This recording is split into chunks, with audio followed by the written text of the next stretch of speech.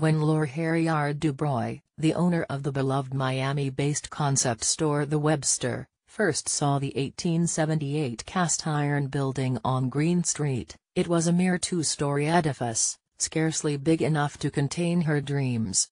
I know it was four years ago, because I was pregnant with my son and he's four now, the French-born retailer says in her fluent, charmingly accented English. We are standing across the cobblestone street from the new shop, it is three days before the grand opening, and the weather, ridiculously balmy for November, is as warm and sunny as Dubreuil herself. But wait, am I nuts, or is the building now six stories high?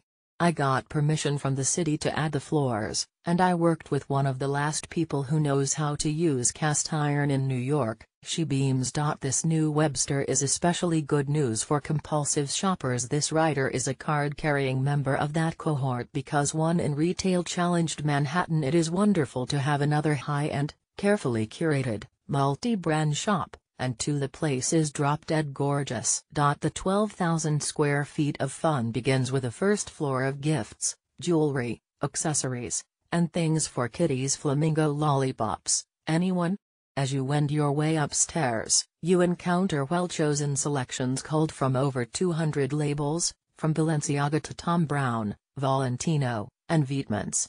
Loewe elephant purses. Kelly green Marni coats.